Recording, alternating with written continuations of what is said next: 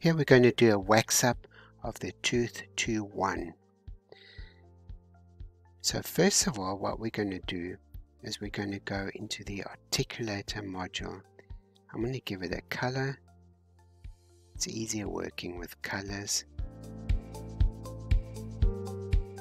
And then we will select that specific tooth. And in the articular module, we're going to go name upper and name lower. Then click mounting table. And then we're going to reposition this model so that we can get a symmetry going so we can use the mirror imaging. So I'm going to rotate it a little bit and we're going to look at it from the bottom and we're going to move this model up to that specific little notch over there. That little notch. And I think this should be okay. we're going to unhide the lower model and then we can delete the table. Next we're going to go to the splint module. We're going to call that target model and unhide the lower so I'm going to make this add-on so you can see on the left hand lower corner what I'm doing.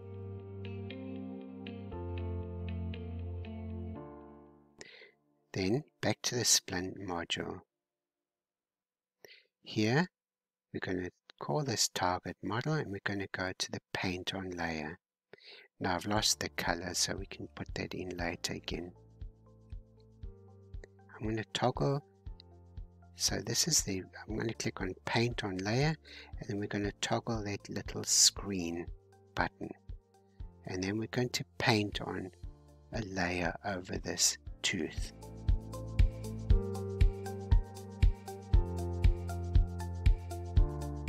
So I'm trying to stay within the boundaries of this specific tooth. It's not 100% possible, but close.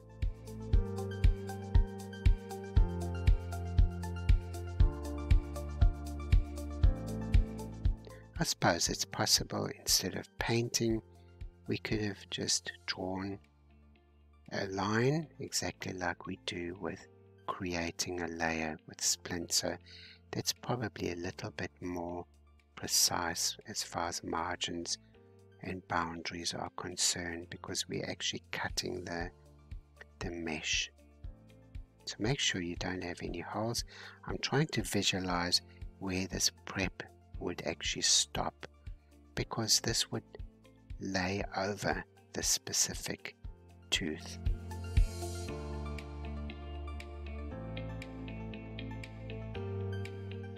we'll just use a minus and get rid of a little bit and then the plus again to get a good coverage.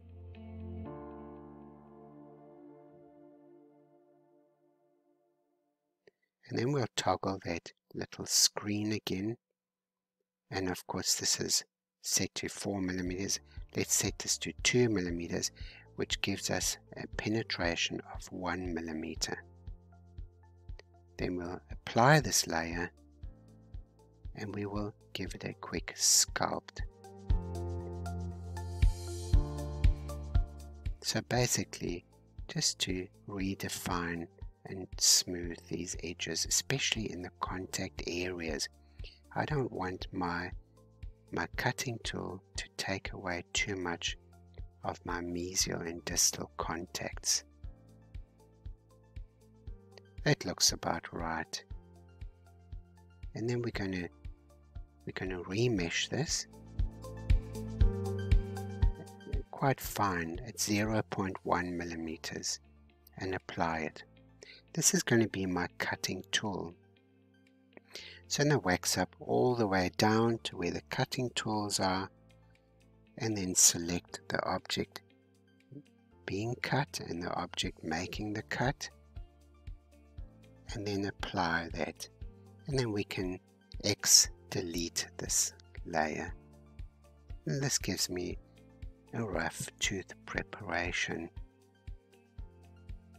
Then what we're going to do is we're going to just smooth it and there's a few smoothing buttons all over the show. Just find yourself one.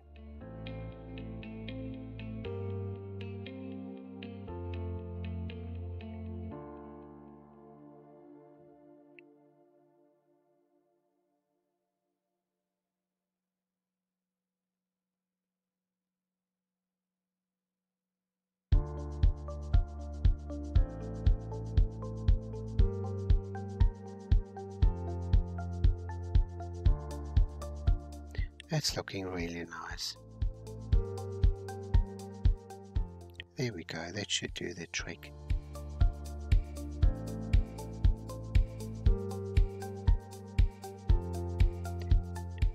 Exit the sculpt. Now it's time to cut off the tooth, the donor tooth. So we need a copy model. So I'm going to duplicate this model going to go up to patient's own teeth menu, duplicate the model, and that throws it into duplicates collection. Then place your cursor and click draw gum line. And then E to extrude. And we're going to E all the way through that contact area and again E extrude through the contact area, shift left click and F. Then mark gum line, select a vertex close to the contact and then offset contact line in a small extrusion. That's the first one is a small extrusion. And then thread it through the contact. When we get to the other side, fuse it, just relax that one vertex a little bit. Again, offset contact line, E, short E, and then you can go with longer extrusions. Shift left click and F. Then what we're going to do is we're going to then click on that one to section it. Inspect your cutting tool and cut. Now of course we've cut this tooth off the donor model as you can see here. This is good for temporaries and immediate so but we don't need this model so we're going to delete it and we're going to display the original model. Next what we're going to do is we're going to just give it a, a, another color so we can actually visualize and see what's going on.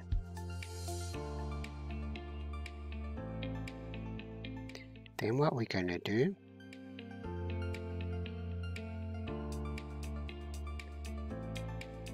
I'm trying to delete a color but it doesn't have a it doesn't have a color to it so we're going to go and mirror image this one so in the patient's own two teeth menu, we click on mirror, and then we've got an exact mirror duplicate version of that specific tooth. But of course we have to deal with the big gap. So this is not too hard to deal with. I'm going to move it a little bit. And then in the Pontics menu, we can change this So the extrusion is a bit short. We're going to open up the tooth mesh. I'm going to close it again. And this time we're going to change that to a bullet shape. And we're going to toggle the edit and use the G key to extrude it upwards to make a bit of a root. Then there's still a little bit missing.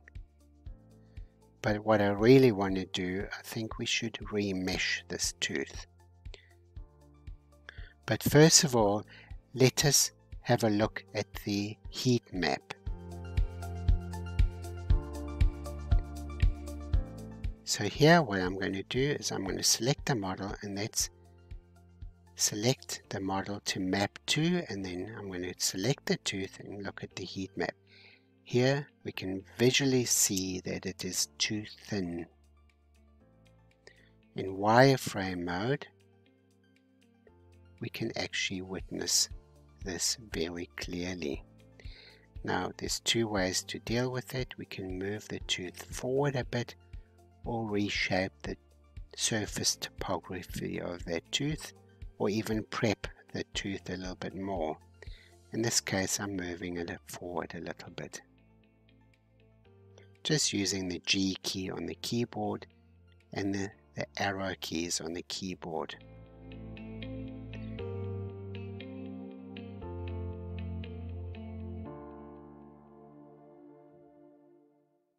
So then this is what the mesh looks like.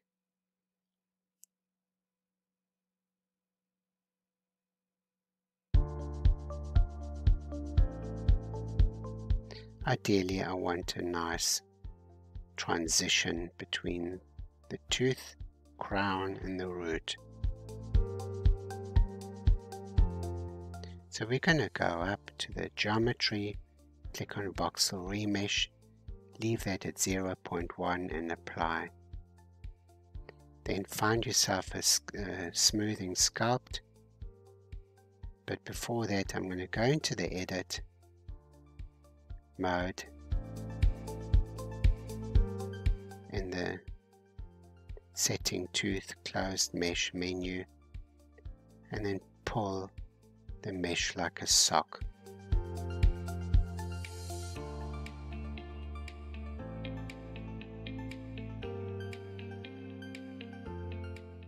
and that's looking quite good with the result. We're going to give the tooth a little bit of a smooth. So I'm looking for a smoothing tool, sculpt smooth, object, and give it a quick brush over.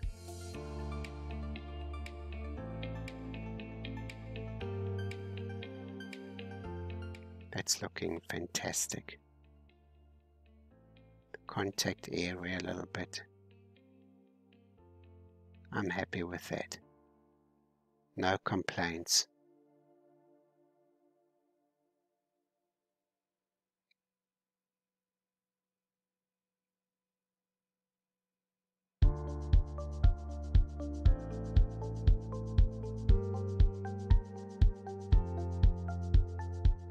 Then what I want to do is, uh, ideally I want to make a temporary crown. So here we're going to expose the lower model just to check the bite, whether the bite is clear. And it looks good. If only we could bring that lateral tooth in a bit as well that's sticking out a little bit on the mesial side. So here let's duplicate this specific tooth. Duplicate that tooth, Shift D and move it into a different layer, into the duplicates layer. Because we don't want to lose what we've got. Then we're going to go all the way to the the cutting tools this is the object being cut and we're going to select the, the other model is the object making the cut and we're going to apply that.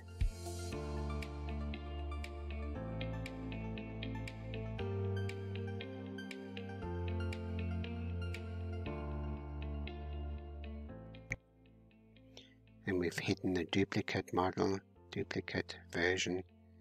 And here we go we've got a, a temporary crown temporary veneer